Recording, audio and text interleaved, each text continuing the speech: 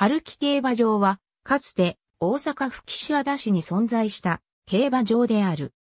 1928年に当時の仙南畜産組合が認可を得て仮設のまま2回開催されたのが春木競馬の最初とされ、翌1929年に仙南郡南か森村大技西のうちに本格的な競馬場が開設された。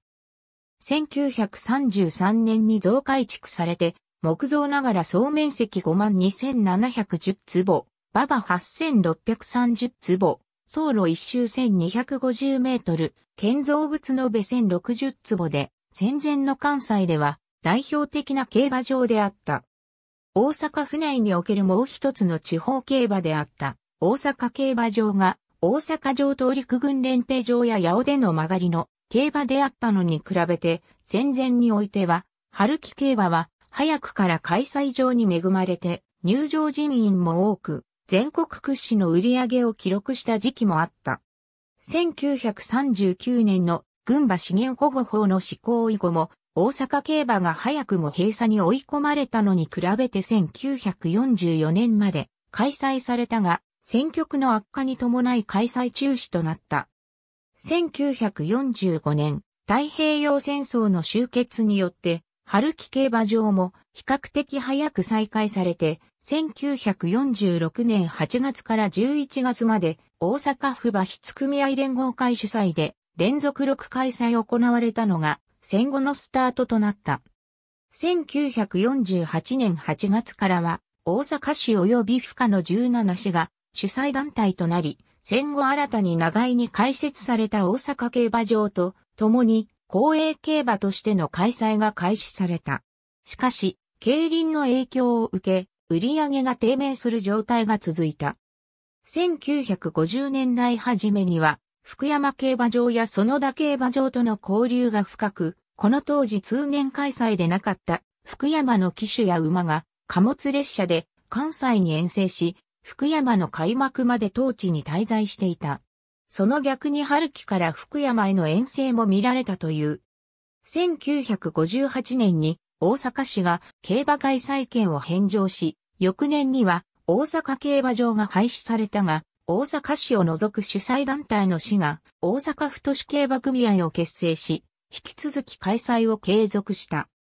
その後は1960年頃から売り上げも順調に伸び、日本有数の売り上げを誇るようになったほか、1964年12月には、鉄筋4階の新たなスタンドが完成し1966年には、1開催平均3億円まで売り上げが伸びて前途はまだ明るかったが、この時期がピークでやがて売り上げの低迷が続く中で廃止に追い込まれていく。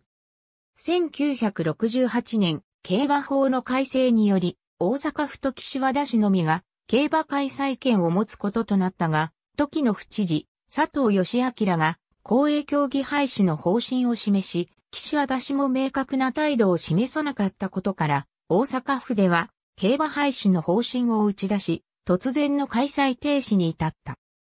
これに対し、それまで競馬開催権を持っていた各市や競馬関係者より、急な競馬廃止は、競馬関係者の生活権を奪い、かつ混乱を招くとして、反対の声が上がり、調整の結果、大阪府では、競馬廃止を円滑に行うための資金確保などの措置として、1968年から1970年の3年間を限度として開催継続を決定した。